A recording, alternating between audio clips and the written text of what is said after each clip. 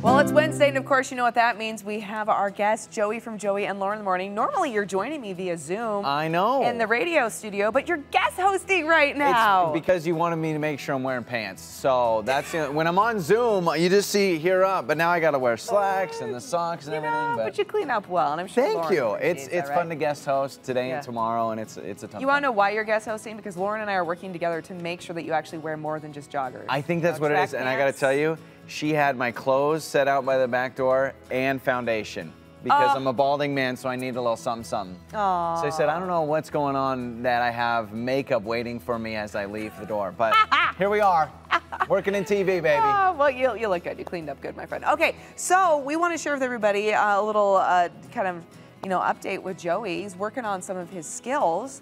Uh, so you're learning you're learning Spanish now. Yes, I decided to learn Spanish, mm-hmm. and it was really because I want to apologize, and I know she's watching, but Miss Rosa was my college Spanish professor. Okay. And I had two years of college Spanish, and I got like a D on it.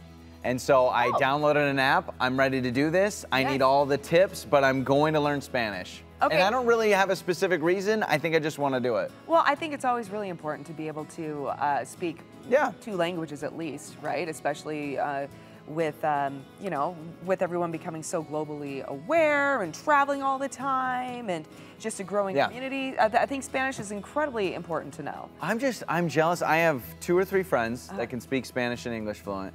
And I'm always like so jealous because right? there's always opportunities where they can speak Spanish and English. So I'm gonna try. So I downloaded this app. Yes. It has me like learn all these words every day.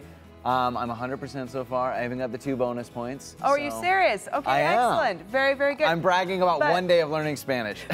okay, but but uh, so are you doing stuff within your home to help kind of supplement and make sure that it's applicable to your daily use? Like, are you putting like the words on certain objects in your house? Are you trying to encourage conversation in your home? I well? would love to get the whole family involved. If we get the whole family involved, I would be all about it.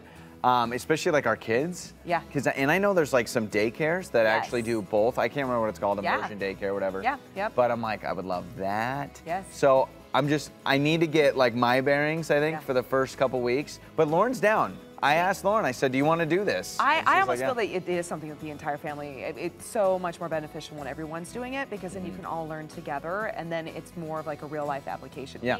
We, we did a bilingual uh, daycare for our, well, both of our kids actually had a little bit. But the thing with that is you got to make sure that you keep practicing with them beyond it, right? Yeah. Because they're like little sponges when they're young, Yep. but you can lose it if you don't use it.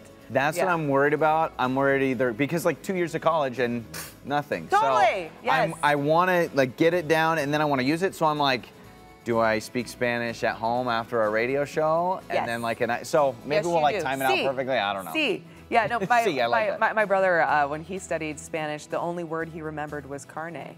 So he can just walk around and say meat, which Carne really- asada. Hey, what you else do you need in life? Yeah, but it doesn't get you very far, you know? That's That's true. No, I commend you. I think that that's excellent. My family and I, we've been trying to learn Japanese.